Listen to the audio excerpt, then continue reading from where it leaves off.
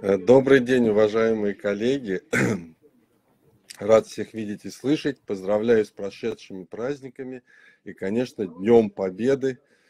Э, и, как вы видите, у нас сегодня очень сложная тема. Речь пойдет э, о нашем проекте, который мы готовили уже довольно давно, не меньше года – Несториана, историко-патриотическая библиотека. Ну и как вы понимаете, э, э, нам придется не просто говорить о книге, но и немножко порассуждать о патриотизме. Э, в общем, проект наш был выдан в самый что ни на есть сложный момент для таких рассуждений. Постараюсь, чтобы их было как бы поменьше и по нейтральней, потому что не время э, во время пожара рассуждать о его причинах или последствиях, его надо тушить. И тем не менее, без этого мы не обойдемся. И, наверное, сейчас момент, когда вот эти вопросы каждый себе задает и должен найти какие-то на них ответы и собственную позицию. Ну, а для начала, прежде чем вот такой большой вопрос задать, э, давайте кое-что послушаем.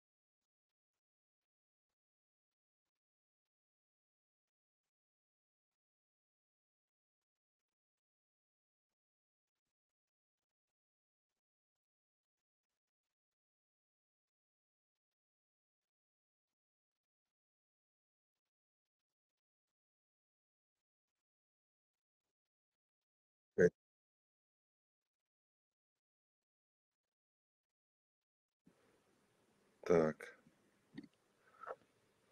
Прошу прощения. У вас нету звука?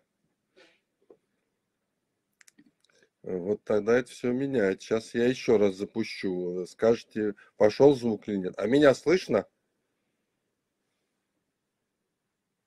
Вас слышно. Так, ну вообще должен с компьютера идти. Мне все слышно.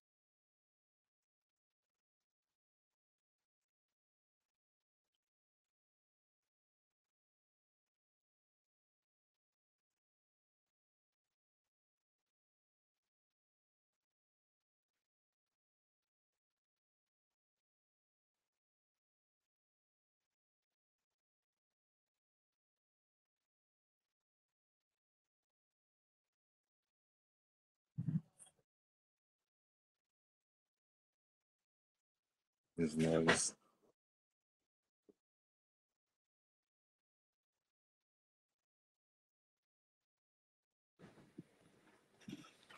Так, песню не слышно.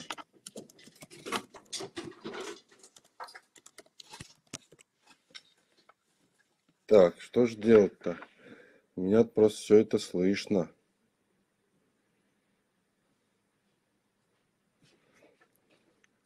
Татьяна, а если ее загрузить, э, она э, с вебинара запустится? А вот я хотела спросить, э, может быть, мы попробуем, если это аудиофайл, может быть, попробуйте скинуть, или что это, видеофайл? Попробуем загрузить. Да, я его попробую загрузить. Аудиофайл. Фу-фу-фу. А ну-ка сейчас попробую, да, видите. Как а, смотрите, можете открыть аудиофайл, попробуйте открыть в если есть э, Windows проигрыватель и запустить демонстрацию экрана. Может быть, так запустится? Ну вот я вот э, вам ее загрузил. Загрузилась? Так, сейчас посмотрим. Да, давайте я ее попробую открыть. И мы посмотрим. а вдруг у нас получится.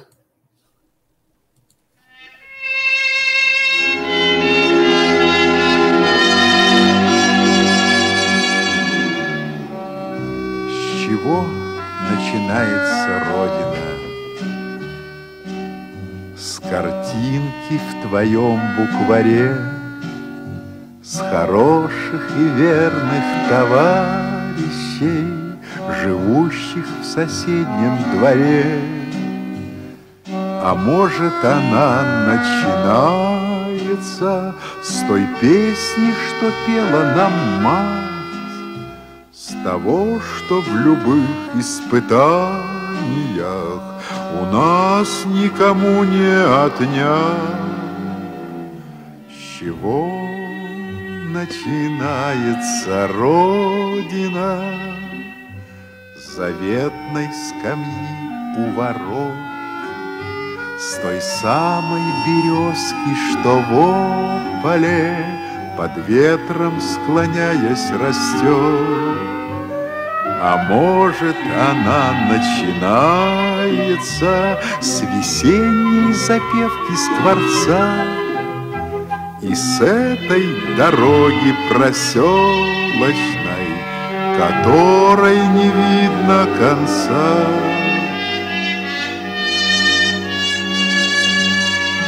С чего начинается Родина?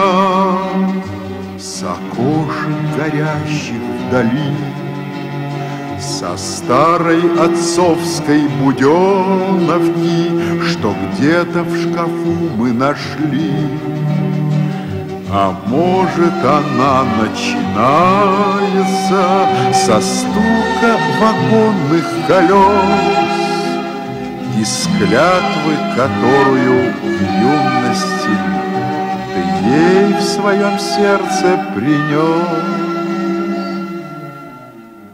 С чего начинается Родина?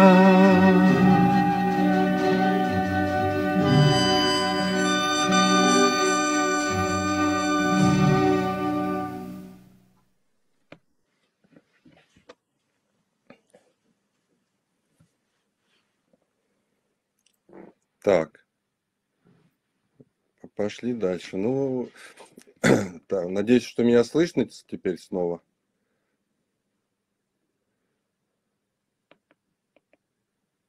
Так, от, от, отлично, да. Ну вот, мне кажется, эта песня э, энциклопедия о патриотизме, о понятии Родина, и э, она больше дает там, чем целые книги. Вот, и тем не менее, конечно, этого недостаточно, надо и размышлять о патриотизме, и попробуем вот кратко а, об этих вещах э, порассуждать. Ну, патриотизм определяет как любовь к родине. И как любая любовь, это целое море, космос э, чувств, э, мыслей, за этим стоит э, личность со всем ее, со всей глубиной, многообразием. Это один из самых сложных психологических комплексов человека, так скажем. Он объединяет и чувства, и характер, и воля, и дух. И если задуматься, патриотизм то, где заканчивается человек отдельный и начинается его превосхождение, преодоление в себя – один из самых основных социальных инстинктов человека. Ну и в то же время патриотизм не какая-то вещь, которая там у одного есть или э, у другого нет. Скорее мы тогда имеем случай с, какой-то болезнью. А мне кажется, это здоровое самоощущение человека, которое, это чувство, которое всегда с тобой. Э, и тем не менее, как э, любовь э, – это сильное чувство, да. Э, с одной стороны, оно не приходит или уходит, как любовь к отдельному человеку, да, она всегда э, с нами, и в то же время это чувство постоянно проверяется и испытывается. Если рассуждать о патриотизме, конечно, нужно обратиться, а меня слышно? Так, слышно, да. нужно обратиться к Ивану Ильину, пожалуй, самый глубокий мыслитель русский э, на эту тему. И вот как он писал. Любовь к родине есть творческий акт духовного самоопределения. Чтобы любить родину, надо ее найти и реально испытать. Часто патриотизм оказывается неопределенной склонностью. Она то замирает без надлежащего раздражения, то вспыхивает слепой страстью, то превращается в воинственный шовинизм или тупое национальное самомнение, то в слепое пристрастие к эмпирическим мелочам, то в лицемерный пафос. Э, вот эту речь свою Ильин прочитал в 18 году. Если мы задумаемся, насколько сложный был момент э, для России, как сложно было рассуждать об этих вещах, э, советую всем прочитать вот эту его речь. И, как вы видите, в науке о патриотизме, о родине половину занимает не положительное Э, описание, что и как это, наверное, мы легче чувствуем, а скорее э, рассуждение о ложно понятом патриотизме. Вот здесь вот очень много граней и барьеров. И первый э, главный парадокс, который мы часто опускаем и не считаем, что это здесь главные вещи проблемы, то, что для понятия и Э, чувство патриотизма, политические позиции не являются определяющими.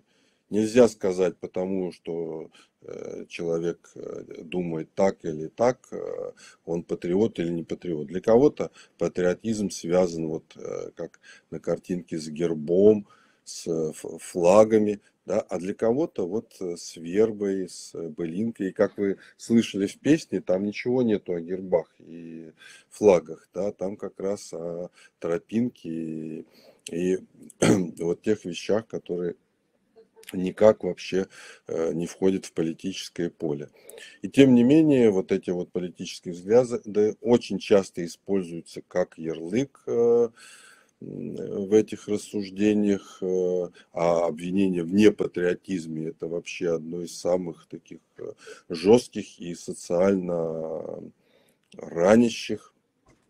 И тем не менее э, он определяется не внешними словами, не действиями, не политическими взглядами, не эмоциями. Очень легко запутаться, как определить человек патриот или не патриот это скорее мировоззрение, образ жизни. Но мне кажется, проверяется он, как и любовь, предательством. Вот единственный критерий, когда это можно увидеть. Но откуда же мы черпаем патриотизм, уже ближе к нашей теме?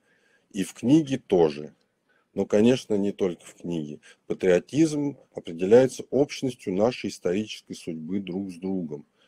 Э, мы обречены э, жить с этим чувством и быть или не быть патриотами. Это и есть Родина. И недаром наша, наша библиотека является исторической, патриотической. Без истории нам тоже не обойтись. И я бы здесь обратился Э, вот к такому особому пограничному случаю гражданской войне. Потому что в обычной э, войне, ну, для нас синонимом патриотизма и как-то первая ассоциация является Великая Отечественная война. Но, на мой взгляд, это очень простой кейс. Э, там очень все понятно. Вот есть враг и есть после кого ненавидеть. Дальше уже просто граница, степень жертвенности, Э, человека э, показывает. Ну, в общем, тут нету проблемы, нет э, какого-то вопроса. А вот в гражданской войне ситуация совсем другая. И прошло ровно сто лет, когда мы испытали, пережили вот глубочайшую драму, в которой как раз и ставились такие вопросы. Раскол нации с 14 года по 22 гражданская война. И напомню, что э, начиналось или там самый разгар э, Владимир Ленин приехал в Россию с лозунгом большевиком поражение своему правительству. да, фантастический лозунг, и тем не менее Э, вот мы все советское время считали это тоже э, образцом и правильной позиции патриотизма, как вообще большевиков и уж тем более Ленина.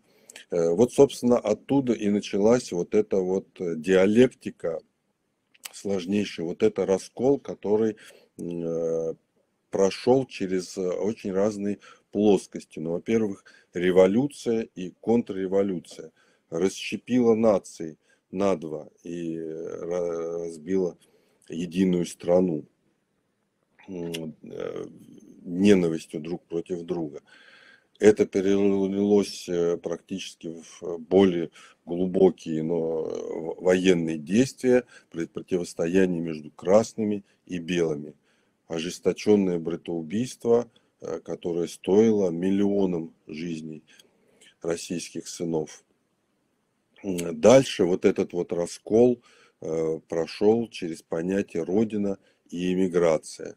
И целый поток потерянных сынов лучших людей, нашей аристократии, нашей э, ученой, духовной аристократии, философов, поэтов, э, писателей покинули страну и вынуждены были там э, переживать эту драму, не оставаясь вдали, а постоянно держа Россию в сердце. Ну и, наконец, э, э, в более спокойных, постоянных тонах эта дилемма перешла в различие метрополий и диаспоры. Диаспора тоже постоянно живет понятием о родине, помнит о ней. Это тоже такое очень интересное взаимоотношение. Вот как вы видите, очень много разных граней, когда вот этот вот внутренний раскол проходит э, э, через разные стадии. И кто здесь прав? Когда мы жили э, в советское время, нам было понятно, что говорила пропаганда, то тот, тот, тот и был значит, патриотом. А патриотизм очень не любит пропаганды и идеологии. И вообще это не о том.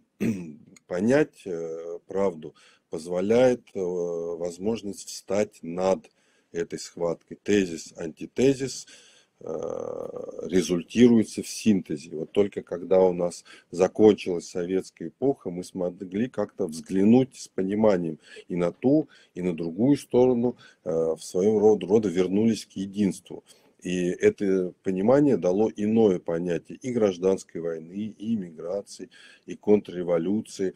И мы поняли страдания всех вот тех, тех отринутых в, в, этих, в этой дилемме. И тоже снова пережили немножко их э, чувства. И тем не менее, если сегодня спросить, кто был прав, мы не знаем. Хотя мы больше не расщеплены, но мы не можем сказать, кто из них действовал как патриот, а кто действовал как не патриот, как предатель из простых политических действий это не выведешь. И многие, как мы знаем, тоже готовы быть, были положить и клали свои жизни на алтарь своих идей и делали это ради Родины. А, а для нас сегодня и Николай II, и Ленин остались э, и продолжают оставаться в том или ином смысле святыми. И вот если сегодня взглянуть на ситуацию, а пройти мимо, я считаю, мы не имеем права, хотя, как я сказал, рассуждать во время пожара о пожаре э, может быть не время и, сложно, э, но кратенько, конечно, все равно э, нельзя обойти. Вот если исходить из сегодняшнего, из сегодняшней позиции, официальной, идеологической, мы один народ. Да, и в этом случае вот то, тот вопрос э, о специальной военной операции можно озаглавить. Это что, династификация или гражданская война?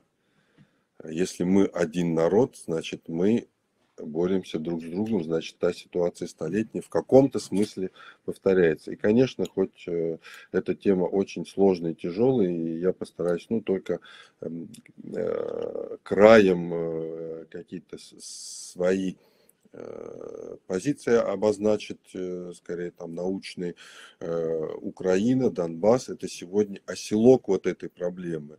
Говорить о патриотизме и обходить как бы эту тему, ну, просто будет непорядочно. Гражданская война – это раскол единства. И разобраться, кто здесь прав, кто, кто не прав, конечно, очень сложно. То, что сегодня происходит, э, похоже немножко вот на эту картинку. И глядя на нее, тем не менее, э, вне контекста и вне своей позиции невозможно понять, о чем идет речь. О чем? Что это? Мораль, э, здесь воспроизводится мораль уличной драки или семейной разборки один смысл, если вот э, один мальчик э, обижает девочку, другой пришел ее защищать.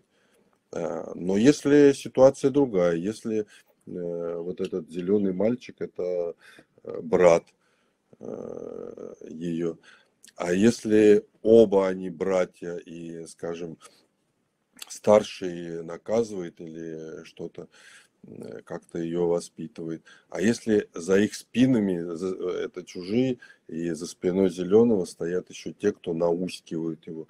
В общем, совершенно разные контексты, и в зависимости от этих контекстов абсолютно разная мораль, абсолютно разная оценка моральная будет. Но суть в том, что происходит, э, то, что мы с вами переживаем, каждый в своей душе, это расщепление целого. Расщепление целого всегда как расщепление себя, расщепление души. Это очень больно. Но в то же время только такое расщепление и вообще только ситуация э, гражданской войны дает возможность эмпатии. С одной стороны, это непримиримость, это вот страсть, Э, клокочущая ненависть друг к другу, а с другой стороны это перспектива взаимности, это близость э, как э, ни с кем другим. И недаром ненависть и любовь, вот те же самые диалектика и дилемма, они перетекают друг друга и в каких-то вещах рождают друг друга. Враг и друг друг может стать злейшим враг, врагом. Все это не случайно, все это исходит вот из этого расщепления. И тем не менее, когда вот мы внутри этого расщепления, э, мы можем подумать и увидеть, а каким выглядит патриотизм с противоположной стороны. А вот для той стороны, как вот эти понятия, как, как эти ситуации интерпретируются, тоже там с, больной, с большой болью. Почему обе стороны называют друг друга сейчас фашистами? И каков будет итог операции? Будет ли это очищение от э, этих элементов нацизма или усиление их? Будет ли это преодоление раскола или окончательный разрыв на столетие? Все это очень, очень сложные вопросы. Вот, но обращу ваше внимание, что вот те вещи, которые сегодня встали, они очень близкие патриотизм, национализм, нацизм – это, так скажем, разные спектры одного и того же э, тембра. Патриотизм – это духовное здоровье, это то, что нужно иметь. Да, национализм – это некая акцентуация э, этих вещей, усиленное внимание – ну, а нацизм – это предел, да, это уже больное чувство, э, которое перерастает в свою противоположность. А начиналось как бы, а в корне лежат, лежит один и тот же вот социально-психологический комплекс. Ну и если говорить о патриотизме, о, как э, о здоровом чувстве нации, главное условие формирования нации – преодоление испытаний, объединяющие действия. И ясно, что сейчас происходят такие события, которые как раз э, изменят э, состояние души каждого и, соответственно, понятие страны, понятие его места в истории. Вот. Ну и переходя к более общим как бы заключениям, уже предпосылкам и ситуации, почему так произошло. Все-таки начиная размышлять об этом, я бы предложил несколько своих э, рассуждений, как я объясняю. Для меня вот то, что происходит, это раскол империй. Раскол империи, который всегда Э, очень болезненный и многоступенчатый процесс. Э, и просто то, что нам казалось, там, там где казалось поставлена точка, оказалось, что это запятая. Точка ставится, может быть, только сейчас, а может точка с запятой. Я бы хотел, недаром у нас речь об истории, включить сюда историческую перспективу, потому что с ее точки зрения Э, многое становится, на мой взгляд, понятно. Заслуга России и ее миссия – это колонизация Евразии. Практически весь континент, э, помимо Западной Европы, это наша страна. И тем не менее, все не так однозначно, и в историческом ракурсе э, выглядело все очень эволюционно и постепенно. Здесь можно выделить несколько стадий, которые вот как такие вот э, этапы и постоянно присутствуют и в сегодняшнем э, геополитическом понимании, как некие нарывы э, вскрываются в таких событиях. Я бы сказал, первый этап к этому движению Евразии шел от Киева к Московии – да, это вот первое перетекание такое. Второе движение было уже совершенно другом Подмосковье к Золотой Орде. И вот она э, доминировала и представляла вот это вот э, как бы сердце того, что мы сегодня называем Россией. Э, дальше следующий очень важный этап и такая интрига историческая от Золотой Орды к Литовской Руси. И только дальше, начиная там с 17-18 века, переход к Российской империи и СССР, по сути дела, к территориям уже в нынешнем виде, э, как вот оно изображено на э, нижней картинке, и на протяжении последних э, столетий. Вот. А я бы еще все-таки хотел остановиться вот на верхней картинке, чтобы было понятно, насколько в истории все было по-другому. Вот вы видите, это середина 15 века, и Московия, э, все-таки средневековье, да, Московия это вот тот маленький островочек э, на территории Евразии, которая разделена двумя большими локусами Золотая Орда и Польско-Литовская уния, Литовская Русь. Вот это о Литовской Руси, э, о Белой Руси у нас очень редко вспоминают, а на протяжении столетия или полтора это была основная интрига. После того, как монголы-татары завоевали Московию, да, и вот эту часть, и Киев тоже завоевали, но от Киева э, как бы они им э, отошли, и очень быстро литовское княжество расширилось, вобрало в себя эти славянские земли, и, ну, своего рода спасла от Золотой Орды, и именно туда побежали многие славяне, спасаясь от варваров, и возник э, э, некий такой спор, который скоро э, превратился в спор между Литовской Русью и Московской Русью. Да, какой центр политический станет основой вот этих вот славянских русских этносов. И этот спор, как вы знаете, был решен в пользу Московского царства, и тем не менее вот по линии, которую вы видите, проходит как бы болевой такой шрам. И вот, собственно, то, с чем мы имеем дело сегодня, это воспаление этого шрама. Вот. Ну, о Польше мы сейчас еще немножко поговорим. Но, тем не менее, после того, как э, именно Москва победила в, это, в, этой, в этом споре, э, то, что называется Российской империи пережила несколько совершенно разных концептов, этапов. Первый – это Московское царство Ивана IV. По сути дела, это уже была та же самая территория.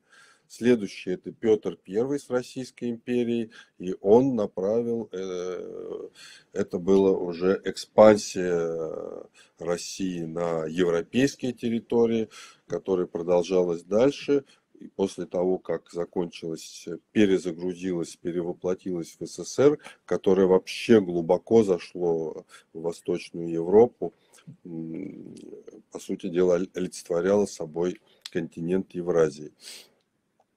Э, вот. И вот это все довольно быстро рассыпалось, э, э, окончательное разрушение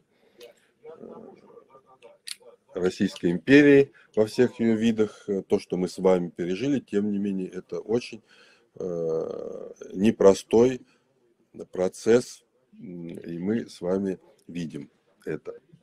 А вот теперь другая картинка того же примерно времени, чуть-чуть позже. Вы видите, что Россия после Ивана Грозного э, очень, и Алексея Михайловича очень сильно прирастилась, но Э, и вы видите, то, что выделено красным, это уже территория современной Украины э, в ее границах. Э, и то же самое разделение, которое мы видели на прошлой картине, оно существует и здесь, только гораздо более глубже, жестче. Здесь Украина предстает как территория трех государств, слуга трех господ.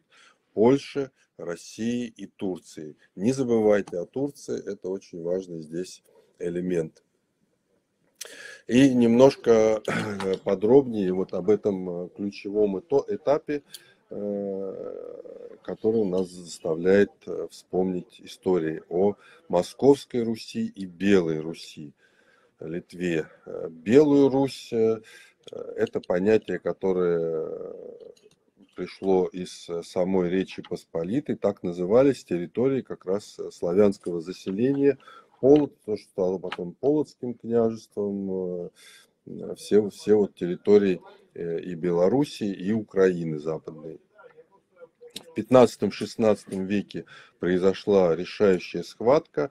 До этого Литовская Русь очень энергично росла благодаря близости и династическим браком соединилась э, тоже с растущей э, Польшей, Речью Посполитой, и превратилась в эту Речь Посполитой. Если литовское княжество как-то со славянами, славянскими народами э, очень мирно взаимодействовало, сосуществовало, то вот с католической Польшей возник жесткий конфликт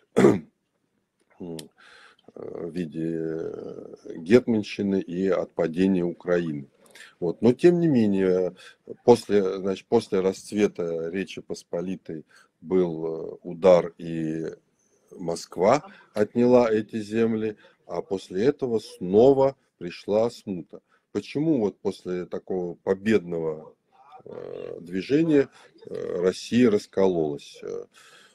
Это тоже вот колониальная история, когда сначала идет э, энергичная экспансия, следующий этап э, движения назад, когда сначала э, очень мощный какой-то объединитель, как, например, Александр Македонский, после его смерти ослабление, распадение на колонии.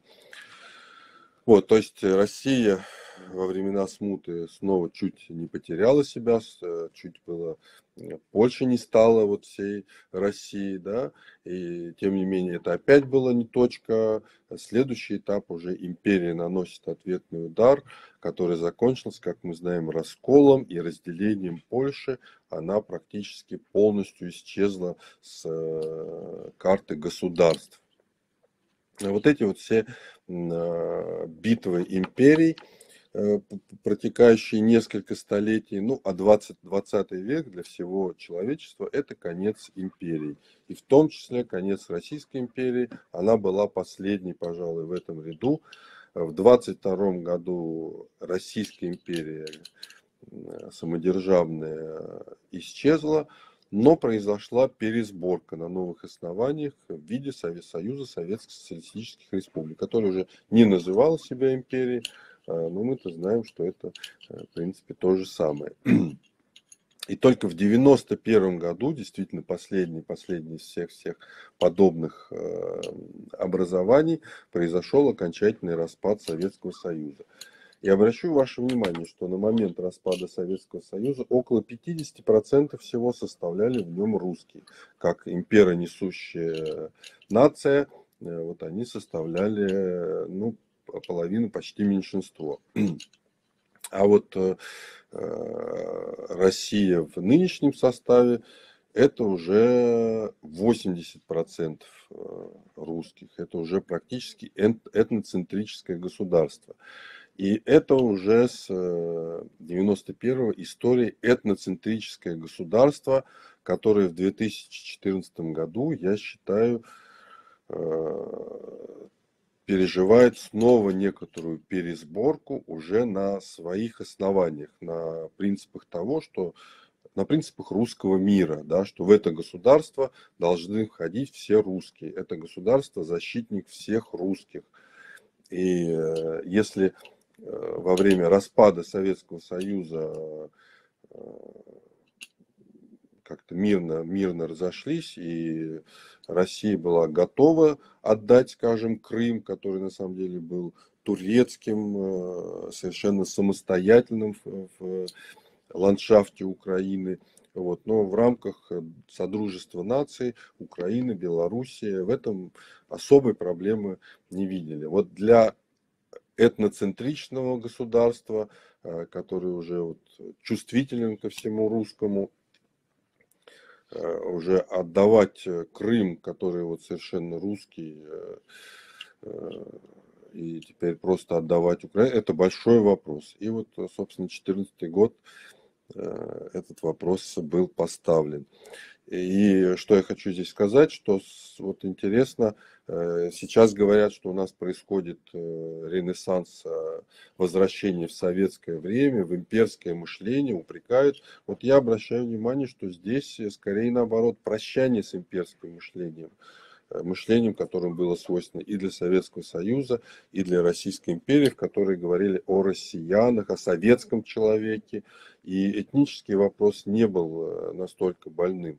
Это прощание с имперским мышлением и полное, э, полное обретение вот этого этноцентрического мышления, э, мышления русских.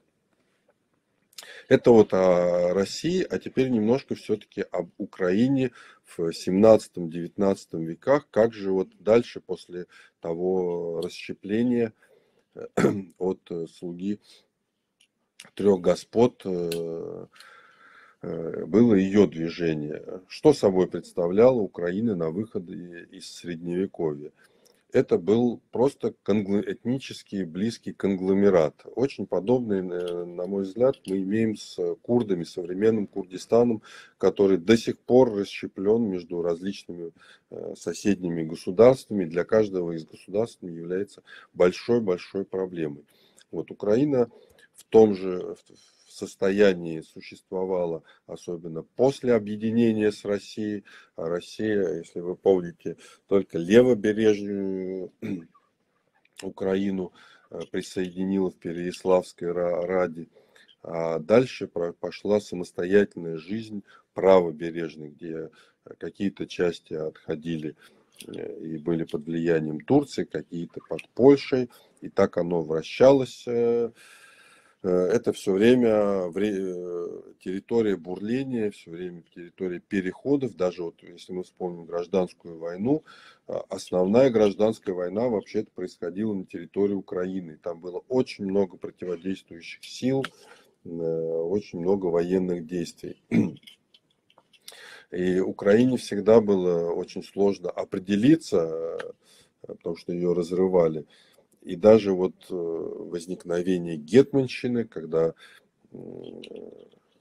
на территории Украины возникло протогосударство, на основе чего казаков. Казаки э, обитали на левобережной Украине, на Хортице, по, по сути дела, как и донские, за пределами государства. Вот, тем не менее, они собрались в самостоятельную силу, э, они противостояли в первую очередь Крыму, по сути дела, на его территории они находились и защищали эту часть, и обрели силу, но такую силу, что в дальнейшем смогли бросить вызов и Польше, и, соответственно, а, одержать ряд ключевых побед и основать свое государство. Э, или протогосударства. Вот Богдан Хмельницкий э, это вот ключевой выдающийся деятель, и даже он э, вот постоянно был, играл вот в эти шахматы с тремя, на, на трех досках. И вот эти три центробежные силы, они сохранились вплоть до сегодняшнего времени. Три Украины. Украина российская, Украина условно турко-крымская и Украина польская, а дальше это была австро-венгерская, ну скажем, европейская, западноевропейская. Вот, и чем отличалась, и почему вот она не могла так э, легко влиться, Украина это православная часть Европы, и всегда существовала именно здесь э, ключ к конфликту, ее конфликту с Европой и ее близость с Россией. И тем не менее, не только, это была не только граница э, конфликта как бы русского мира и европейского, это было и мост, и как один из ярких страниц киевское просвещение 17 века с великим просветителем Петром Могилой, через которого много очень просвещения перетекло на нашу российскую московскую территорию. Э, в общем, благодаря ему произошла встреча православия и католичества, которая была и встречей, и проблемой да, с э, э Брестской унией, с э, униатизмом и так далее. В общем, э, вот это вот э, бурление, диалог, конфликт бесконечно продолжалось до 19 века, когда наконец произошло собирание Малороссии в составе России, и вроде все э, уже устаканилось. Но понятно, что Малороссия потеряла свою субъектность, и в этом плане у нее всегда и были проблемы, потому что война с Польшей возникла. Потому, почему? Потому что у Украины никогда не было собственных элит, э, собственного помещего, помещего дворянства. Оно было э, очень коррупционным, э, как и сегодня, перебегало от одних к других, и в частности, вот даже когда Украина существовала в составе Речи Посполитой, да, то помещики, магнаты, э, по сути дела, это уже были польские представители польских элит, э, то есть даже славяне очень легко перестраивались, переучивали язык и меняли веру. Вот это породило такое неприятие их в низах. А основой национального самосознания были низы и прежде всего православные ну и казачество, соответственно. Э, а тем не менее, уже в 19, 19 веке вот эта элита, в том числе духовная, формируется. Э, это еще периферийная элита, э, но тем не менее очень сильная, и такие вот имена, как Гоголь, Костомаров, Шевченко, это все русские имена, да, но вот уже на их основе и духовная сила культурная, и само формирование национального сознания. Шевченко уже как э, первый представитель самостоятельного украинского национального сознания в противовес русскому. Вот это вот национальное сознание в политическую плоскость переходит практически на очень краткий мир э, формирования в 17 году после революции Рады. Вот это, я наверное, считаю, первая всеукраинская сборка, когда украинское государство как-то обозначило себя, дальше снова там расстроилось и рассыпалось, э, и, казалось бы, исчезло. А, и тем не менее, вот в сознании это уже зафиксировалось как факт, и дальше только воспроизводилось в национально-освободительном движении. Вот это все я как бы рассказываю для тех, кто тоже у нас многие считают, что мы уж совсем один народ, э, и Украину называют так называемая, с маленькой буквы. Вот советую посмотреть э, на YouTube ролик «Динамика границ Украины», насколько а, она исторически подвижная. И обращу внимание на то, что никогда полная территория Украины не входила в Российскую империю, практически ни на один момент.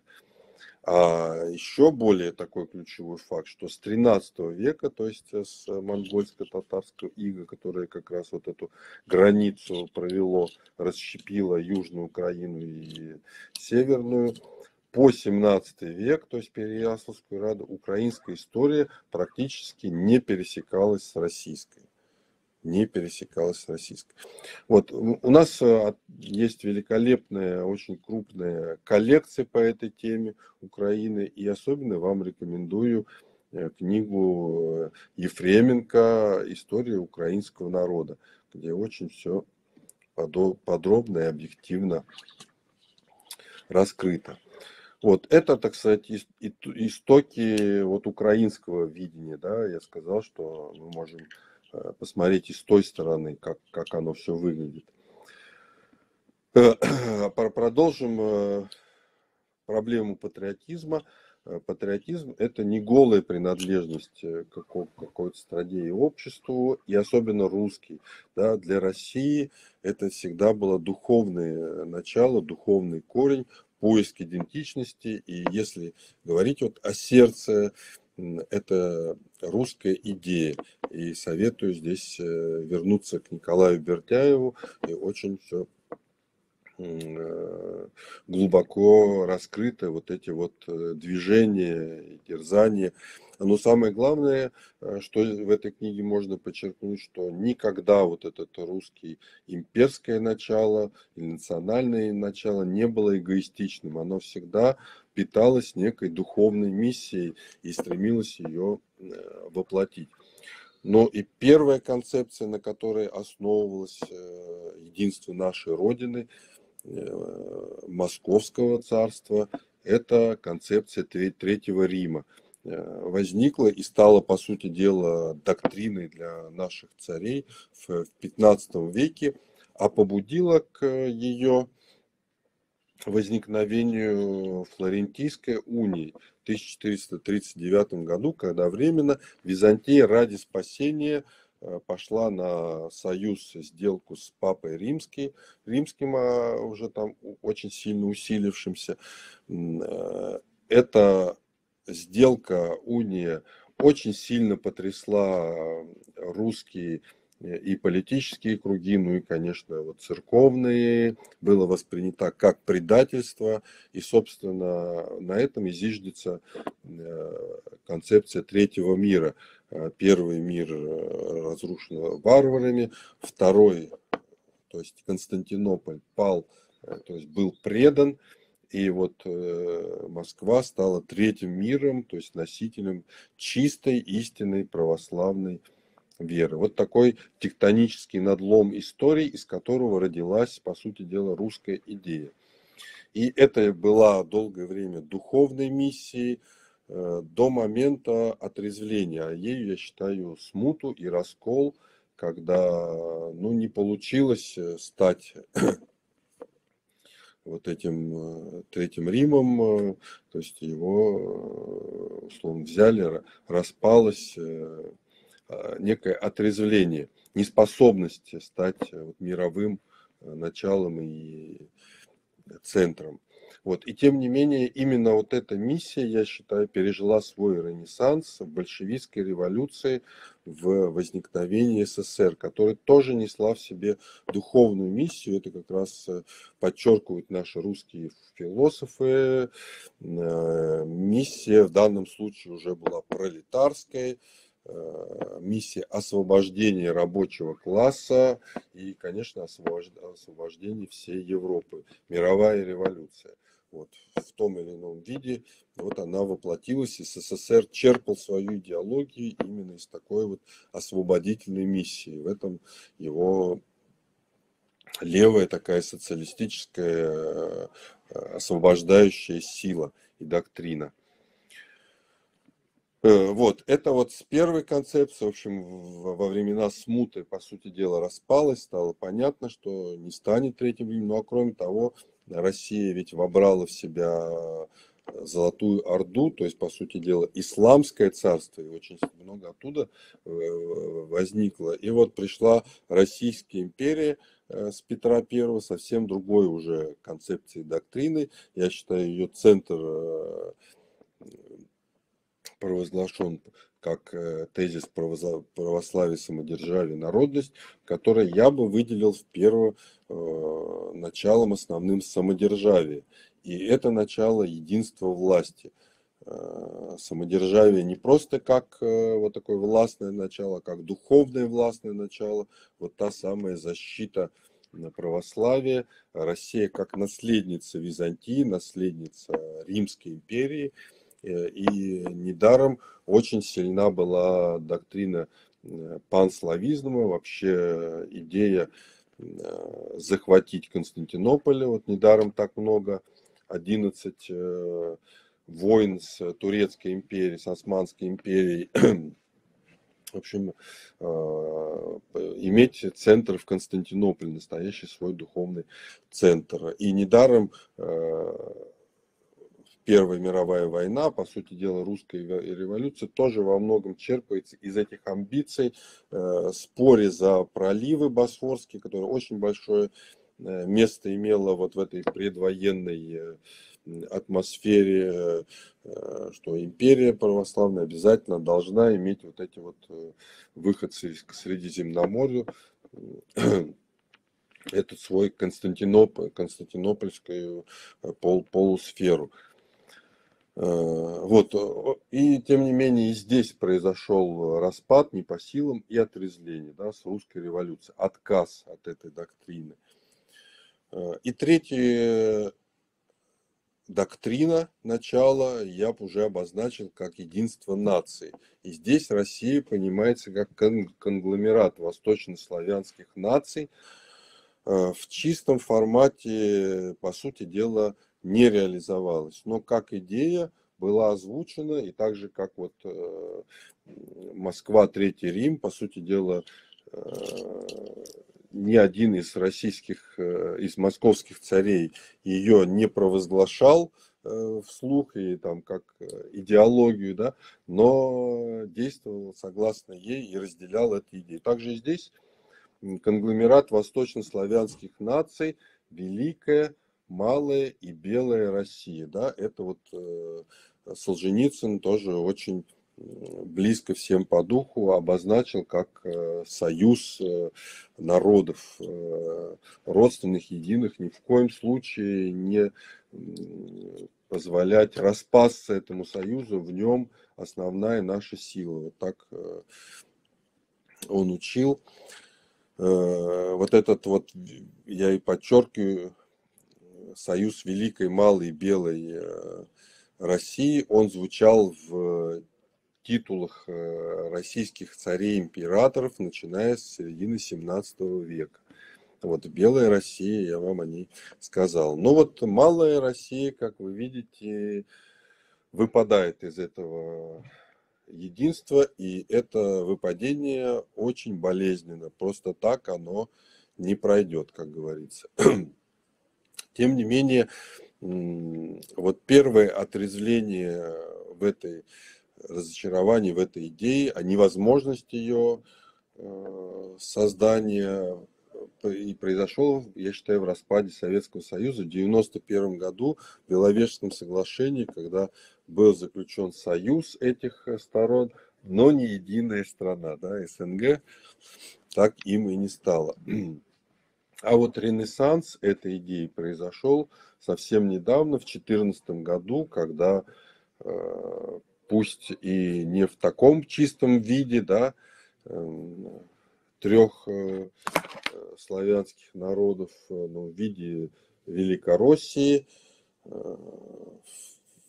эта доктрина воспроизвелась, пусть и русский мир реализован в формате Новороссии, да, в каком-то формате с Белоруссией. Это все, конечно, очень неочевидные такие союзы, довольно шаткие, временные, но сама идея э, вот этого русского мира, я считаю, вот она воспроизводит э, вот эту миссию, вот эту модель. И следуя этой миссии, мы и сегодня действуем в окружающем мире. Вот такие э, воззрения, вот, может быть, немножко длинные, к сожалению, как всегда. Почему патриотизм актуален? И почему мы сделали такую коллекцию? Да? Тема патриотизма поднимается, когда страна находится в опасности, когда стране требуются национальные силы и энергии, и вот тогда именно включаются механизмы защиты, и кроме позитивной программы возникает и негативная. Начинают искать национал-предателей, пятую колонну, русофобию. Это все тоже очень опасные, опасные процессы с точки зрения лжепатриотизма. Начинаются и меры поиски мер по усилению патриотизма. Вот сегодня объявили, что история будет преподаваться с первого класса, да, а уже какие-то меры, э, проверка всех исторических вузовских учебников э, планируется, там комиссия создана при Министерстве науки, проверки учебников. В общем, какие-то вот организационные большие меры. Но я бы здесь предоставил, э, все-таки предостерег э, вот от, от этой опасности лжепатриотизма, о которой говорил наш великий патриот Иван Ильин, э, который черпается из веры в национальную исключительность, из уже ложного направления этой веры. И главные векторы, которые здесь э, предостерег, я бы предостерег, э, несут опасность, это отождествление, превращение патриотизма в веру. Патриотизм не должен становиться слепой верой. Из него не должно уходить э, дух разума и вот этого здорового психологического чувства. И проблема патриотизма и правды. Патриотизм не должен отдаваться в жертву идеологии правда все равно выше. И Родина, как сила Родины в правде. Вот эти вот грани нельзя переходить, надо все время помнить, поэтому соблюдать некоторую меру, которая в любой гражданской войне просто неизбежна. Вот. И тем не менее, здоровое отношение к нации, конечно, должно формироваться в историческом просвещении и в патриотическом просвещении. И вот к этим вещам я уже подхожу ближе, так сказать, к тому, что имеем предложить мы. Э, наш путь – это путь книги. И почему? Книга – один из ключевых путей к патриотическому воспитанию. Патриотизм должен зиждиться на здоровых основаниях воспитания и образования. А какие это начала? Во-первых, семья – социальное окружение, здоровые отношения с этим окружением. То есть это нормальная жизнь э, обычного человека, она и формирует базу. Но, конечно, должно быть и воспитание, внушение здоровых понятий, поведение будущего человека в мире. Без того, чтобы не получить эти понятия, конечно, их э, э, трудно будет в себе возрастить и могут быть искажения. Третье начало – нация. Жить в нации, в народе. Нация – это и есть носитель понятий социализации всех наших вот ключевых социальных отношений. И, конечно, именно нация э, – это опыт поколений, транслируемый этической парадигмой. Без ощущения себя внутри нации не сможешь стать ни моральной личностью, ни вообще зрелой э, этической личностью. Ну и четвертое начало, самое ключевое, базовое, язык. Язык как форма жизненного мира, средоточие повседневных смыслов, э, через которые мы получаем все, что имеем. Ну и вот эти вот вещи, их не надо как-то приносить или что-то. А мы живем в них и в языке, и в нации, и в семье. Э, но если у кого-то нездоровая семья или э, нация болеет, вот тогда и возникает возникают проблемы. Оно, а нация болеет, это вот тот э, национализм, который в ней в силу тех или иных причин зреет и начинает нарывать. Вот. Э, тем не менее, вот этот вот опыт формулируется и переносится через литературу и искусство. И это уже наша тема, потому что именно книга концентрирует и аккумулирует национальный опыт, как ничто другое. Текст является воспитателем, и лучший воспитатель – это текст. Потому что он несет на себя абсолютный максимум э, того, что вот из этого можно нести и передавать другой личности. Ну, возникает вопрос, а может ли книга выполнять эту функцию в эпоху, когда молодежь перестала читать книги? Э, не лучше ли передать эту функцию фильмам, играм, э, мероприятиям, онлайн, офлайн, вот как сегодня и происходит. Да, это должно происходить, но я думаю, что только бы не потерять при этом книгу, потому что книга остается единственным носителем знания. И как пример, связанный вот с нашей темой, Великая Отечественная война. О ней нельзя рассказать иначе, как текстом. Да, можно показать фильмы, там, э, сям ситуации, жизненные судьбы, да, но вот как э, понимание целого, э, течения, причин, Э, процесса, хода. О Великой Отечественной нельзя рассказать иначе, как в книге. Если мы хотим что-то знать о прошлом, мы нуждаемся в книге. Потому что иначе мы можем это как-то пережить через другие форматы. Но знать мы можем только через книги. Она формулирует. Эмоции передаются искусством, да, а информация книгой. И еще одно. Книга и библиотека – это самый вместительный аккумулятор знаний, помимо всего прочего. А, если мы превратим вот эти наши знания в какие-то там сайты, то вот эти вот набор сайт, он, он не сопоставим с библиотекой, как э, э, библиотекой книг. Потому что каждая книга эквивалентна вместительному сайту. И книг, конечно, намного больше, чем сайтов. Они, как правило, глубже сайтов. Так что не надо заменять э, книгой интернет. И тем не менее, книга это не только удовольствие, а труд. И эта сама книга есть часть воспитания. Целью воспитания, как правило, являются вещи трудные. Это долг, работа, концентрация. Мы учим это через усилия, иной раз через наказание. То есть книга это не обязательно комфорт и удовольствие, это труд. И тем не менее книга воспитывает сама.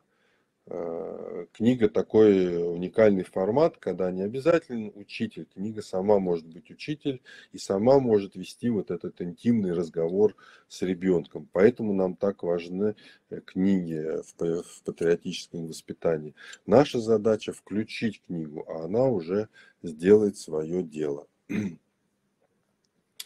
Вот это, собственно, питало наше размышления, нашу идею патриотической библиотеки, но не только э, это. Это все-таки библиотека.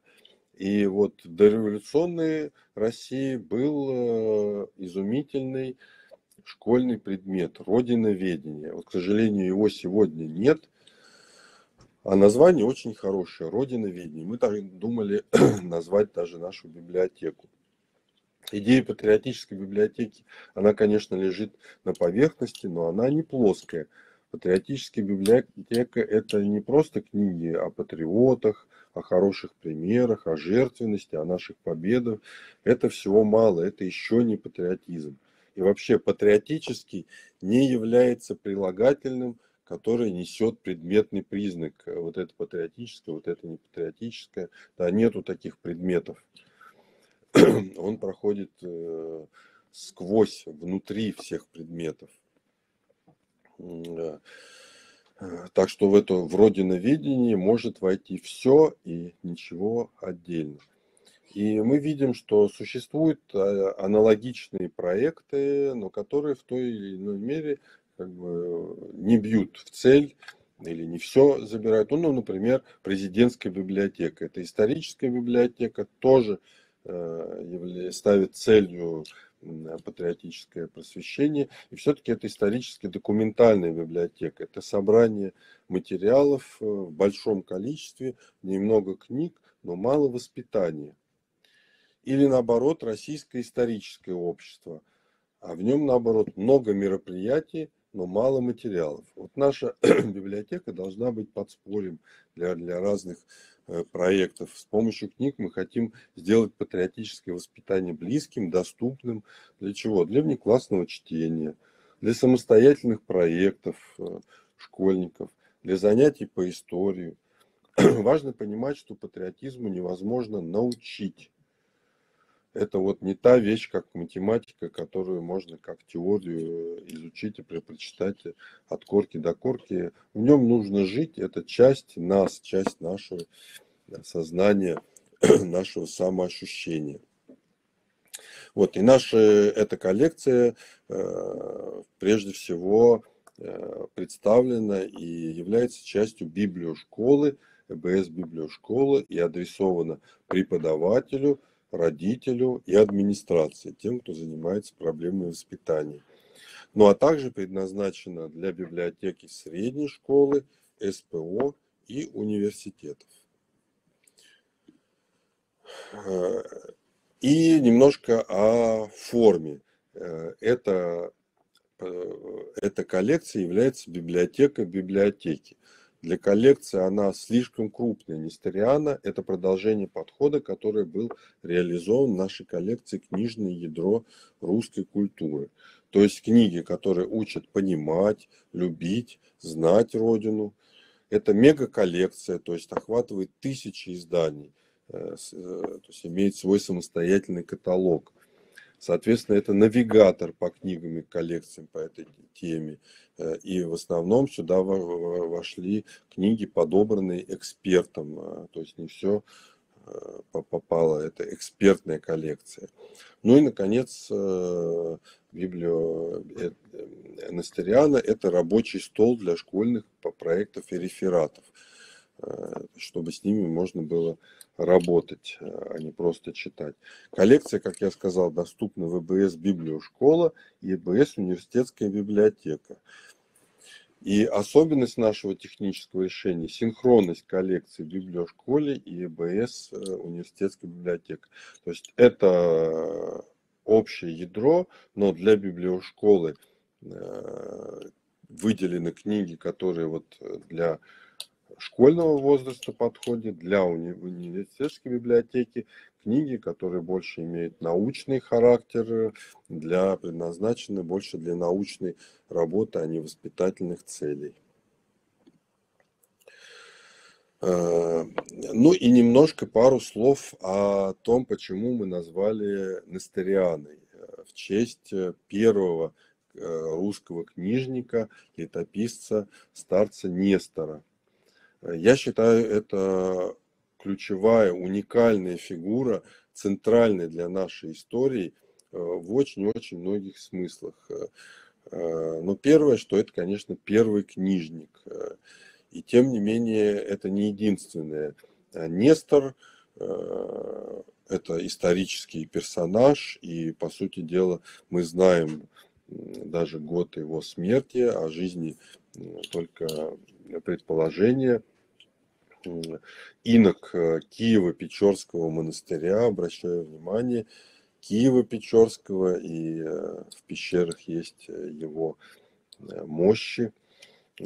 Это святой, и не просто святой, а действительно подвижник, просветитель, монах, который жил и работал, э, если можно так сказать, вместе с нашими главными русскими святыми, ключевыми Феодосием Печорским и Антонием, Антонием Печорским, э, которые, по сути дела, вообще были моделями русской святости. И как раз первое, ну, наверное, самое читаемое житие Феодосия Печерского как раз принадлежит перу Нестора. И вообще удивительно, что практически вот э, э, вместе с рождением Руси, а это можно сказать э, одно время с основанием Киево-Печорского монастыря, вот среди леса Феодосий Печорский основывает монастырь вообще как формат святительской жизни, монашеской жизни. И уже с ним его послушник, э, насельник э, становится э, ключевым книжником, писателем России, автором первой летописи. Вот его перу принадлежит также вот ключевое сказание о Борисе и Глебе. Это все как скрижали для русского сознания.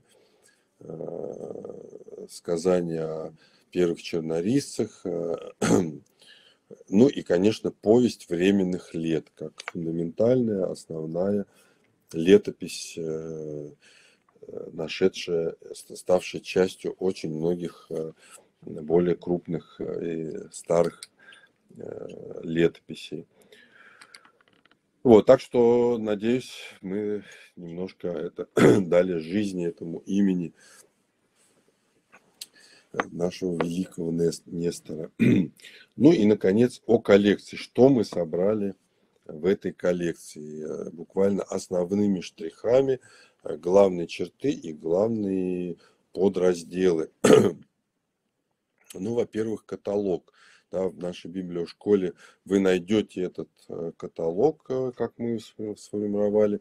И, конечно, в нем три ключевых сегмента. Первый – это история само разумеется, одна из э, нами собрана на сегодня одна из крупнейших исторических коллекций э, среди всех э, библиотек, не говорю ЭБС, потому что ЭБС вообще этим не занимается. Это именно наша работа, наша миссия. Около 20 тысяч книг по истории, но в патриотическую библиотеку вошло около 2000 книг. Это, конечно, такие сливки и то, что Э, как раз предназначена для школьника. Разные аспекты, история о них еще скажу.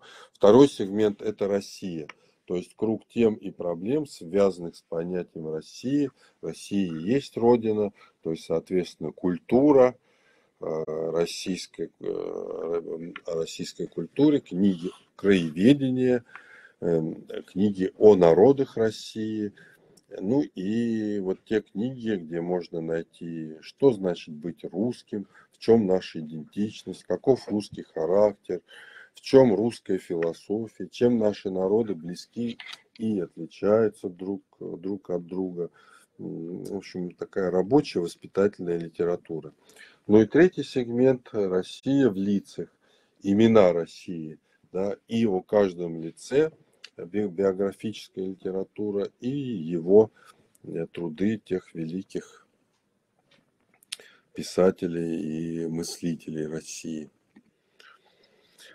Но теперь чуть-чуть конкретнее. Конечно, в основу патриотической библиотеки должна лечь коллекция о Великой Отечественной войне.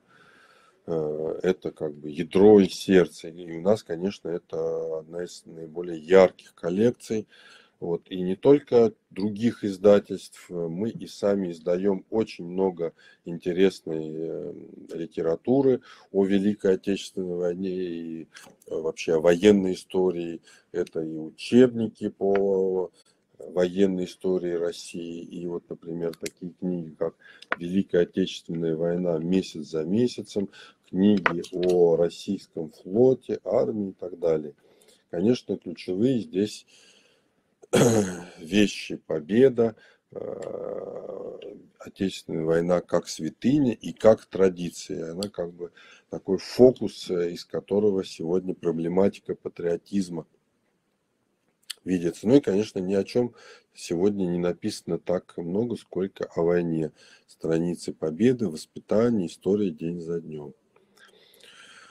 Э, Еще одна важная страница литература и поэзия, э, проза и поэзия э, о этих тематиках и о испытаниях, национальных испытаниях, о победах, о поражениях, и в частности такие подколлекции, как «История России в романах», художественная проза, список изданий, рекомендованных Министерством просвещения для патриотического воспитания, юношеская библиотека, так называемый спис 100 книг Путина, в которых тоже главные книги о войне и о нашем Отечестве.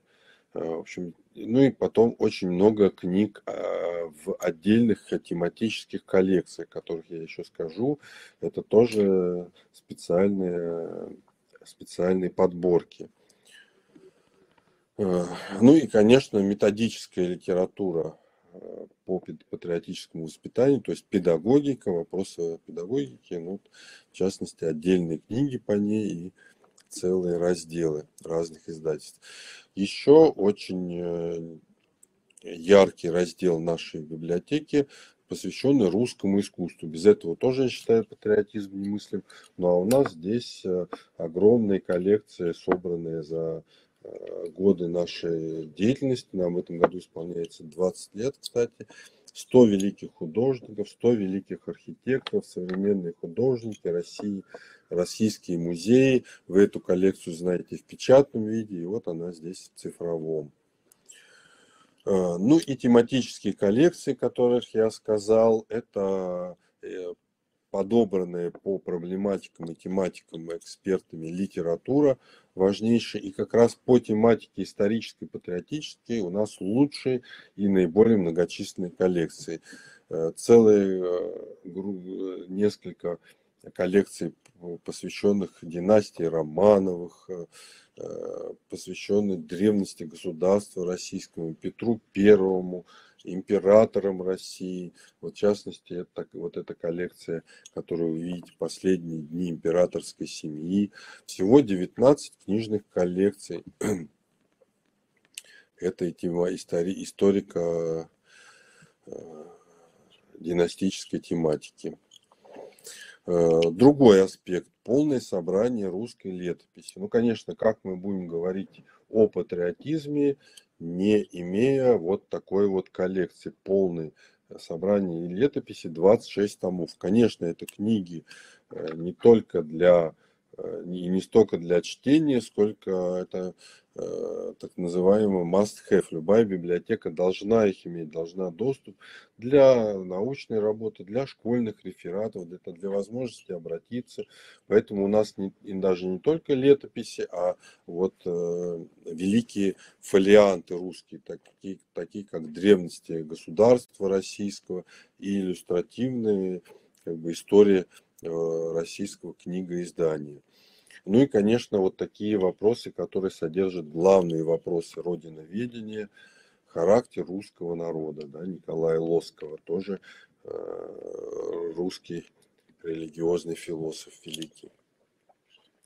Разумеется, для патриотической литературы неисчерпаемый источник биографии и мемуары. И обращу ваше внимание – уникальная историческая коллекция ЖЗЛ, э, которая начинается с биографической библиотеки Флорентия Павленкова. Главная и самая такая именитая книжная коллекция в России. И э, мы на сегодня тоже, как и по истории, в плане биографии мемуаров, крупнейшее собрание электронное в России, тысячи томов. И издаем очень много по этой теме. Вот. Еще одна очень характерная коллекция «Россия и Запад». Важнейший вопрос российского национального сознания. И здесь мы собрали темы, которые здесь задают э, э, главные векторы. Ну, вот, например, закат Европы э, Шпенглера, знаковая книга и многие другие. Те направления философские, которые этим вопросом занимались потому что вопрос о России, о Родине – это вообще ключевой вопрос российской мысли. И ключевые философские направления, славянофилы, западники, европейцы, те, которые так или иначе решают эти вопросы. Мы собрали их э, полной коллекции. Еще одна уникальная коллекция, которой ни у кого нет, русская иммиграция. Вот эта вот вся боль вдали от родины. Э, мы собрали литературу э, русской диаспоры 20 века. Э, очень разных ярких наших авторов и мыслителей. Пожалуйста, читайте. Ну и, конечно, нельзя обойтись без темы военно-исторической. И здесь опять-таки снова крупнейшее собрание военно-историческое, как пример э, военно-историческая библиотека э, нашей победы более 200 томов э, о всех войнах Российской империи. Богатая, интересная, насыщенная библиотека. Ну и, наконец, коллекции по военной истории и дипломатии.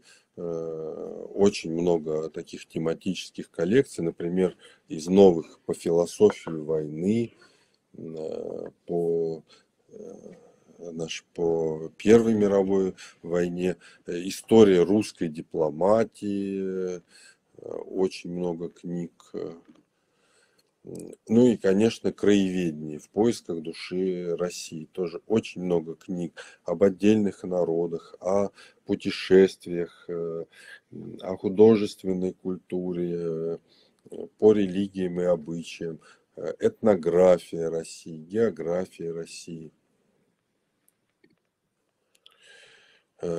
И последнее, наше достижение – да, спорт, наука, космос, э, конечно, без этого наша идентичность немыслима. Э, вот, пожалуйста, Юрий Гагарин, все, что, все остальное со спортом, с достижениями. Э, ну вот, собственно,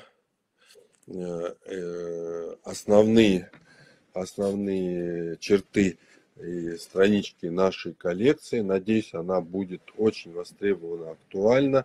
Э, мне кажется, что ничего подобного, во всяком случае, вот тот труд годовой, который за этим стоит, э, мы привлекли около четырех э, экспертов, четырех источников различных библиотек, в том числе Милитера, очень известная военная патриотическая библиотека.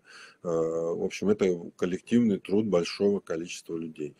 Э, я не буду вот листать следующий, хотел вас э, ознакомить тоже с релизом последнего нашего проекта «Мировой художественной культуры», но, думаю, найду э, другой случай для этого. Мы с вами и так задержались. Э, и подошли к концу. Э, вот. В общем, э, мы верим, надеемся, что эта библиотека будет востребована. Повторяюсь, она доступна для подписчиков библиошколы и университетской библиотеки онлайн. Релиз еще не вышел. То, что я вам показал, это вот последние такие рабочие штрихи, ну, буквально со дня на день оно оденется уже в свои финальные формы. И еще для тех, у кого нет доступа, э, пожалуйста, обращайтесь и э, можно найти формат, в котором именно вот эта коллекция из книг, в общем, она, еще раз повторяю, как коллекция в коллекции, библиотека в библиотеке эм, содержится. Вот, ну, со, сама подключ, само подключение к библиошколе платное, разумеется, ну а вот использование этой э, библиотеки уже становится бесплатным. Ну а в связи с нынешней особой для нашей страны ситуации э, есть и особый наш э, шаг – вот эту библиотеку, то есть, соответственно, вместе со всей библиошколы мы бесплатно подключим для всех школ Донбасса. Донецкой и Луганской народных республик. Э, совершенно бесплатно, но это вот наш э, такой будет подарок э, к Дню Победы. Вот, что ж, коллеги, на этом я закончил свой рассказ. Надеюсь, это было тоже поучительно, может быть, и немножко больше в э, геополитику, как, как и в прошлый раз. Но время, а самое главное, тема обязывает. Без этого, наверное, не, не обойтись. Надеюсь, что я здесь ничьи чувства не оскорбил. Благодарю вас за внимание. Хорошего вам настроения и веры в будущее. Всего доброго.